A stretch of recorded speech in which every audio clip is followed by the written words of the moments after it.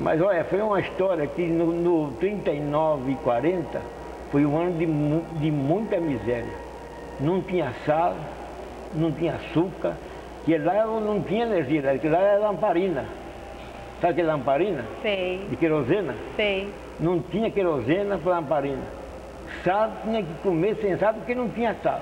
Porque na guerra foi no 45, tempo da guerra, foi um ano de mais miséria. Nós toquemos uma roça, eu derrubei oito arqueiros de mato para plantar. O velho falou assim, o que vocês faziam de vocês? Você sabe de uma história que nós ficamos quatro arqueiros de arroz sem colher porque não tinha saco para pôr arroz. Nossa. Você calcula hoje com essa miséria que está? Você calcula? Nós éramos seis, duas mulheres e quatro homens. Todo mundo trabalhava na Todo na mundo trabalhava.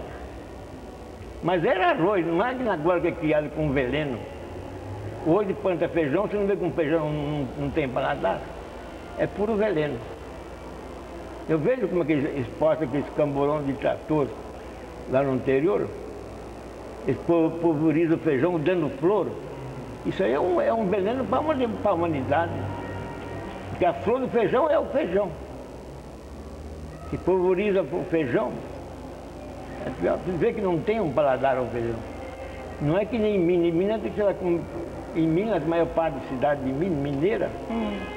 eles, eles o feijão sem veneno, que é outro preço.